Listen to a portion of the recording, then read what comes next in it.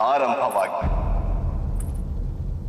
ಜಲಂಧರ ತನ್ನ ಕರ್ಮಫಲ ಅನುಭವಿಸುವುದನ್ನು ಯಾರು ತಡೆಯಲಾಗದು?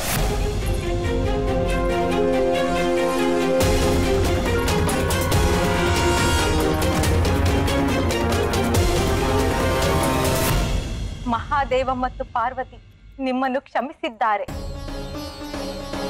ಅಂದರೆ ಎಲ್ಲಾ ದೇವತೆಗಳು ನಿಮ್ಮನ್ನು ಕ್ಷಮಿಸಿದಂತಾಯಿತು.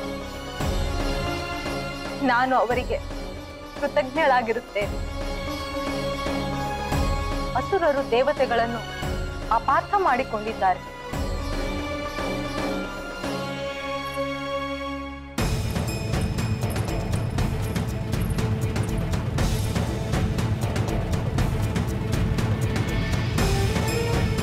ನಿಮ್ಮ ಆಯಸ್ಸಿನ ಸುರಕ್ಷೆಗಾಗಿ ನಾನು ಈ ದೀಪವನ್ನು ಹತ್ತಿಸಿದೆ.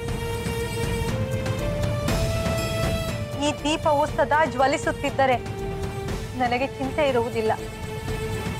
ಇಲ್ಲವಾದರೆ ನಿಮ್ಮ ಪ್ರಾಣದ ಕುರಿತು ಚಿಂತೆಯಾಗುತ್ತದೆ. ನನ್ನ ಪತಿ ಮರಳಿ ಬಂದಿದ್ದಾರೆ.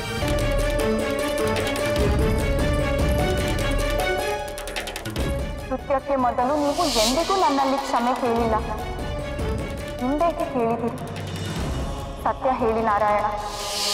ಲಕ್ಷ್ಮಿಯ ಬಳಿ ಕೇಳಿದಂತೆ ನಿನ್ನಲ್ಲೂ ಕ್ಷಮೆ ಕೇಳುವೆ ಪಾರ್ವತಿ. ನಾನು ಜಲಂಧರನ ರೂಪ ಧರಿಸಿ ನಿನ್ನ ಭಕ್ತೆಯ ವಿಶ್ವಾಸ ಮುರಿಯಲಿದ್ದೆ. ಇದನ್ನು ನಡೆಸುವ ಮೊದಲು ನಿನ್ನ ಕ್ಷಮೆ ಬಯಸುತ್ತೇನೆ. ದೇವಿ, ಈ ಕರ್ಮಫಲ ಜಲಂಧರನಿಗೆ ಮಾತ್ರವಲ್ಲ, ನನಗೂ ದೊರೆಯಲಿದೆ